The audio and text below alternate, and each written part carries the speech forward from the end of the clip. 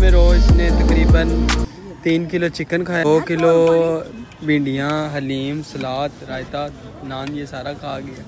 चटनी ये खा गई, अभी भी इसके मुँह में हो रही है खड़प चड़प हो रही है।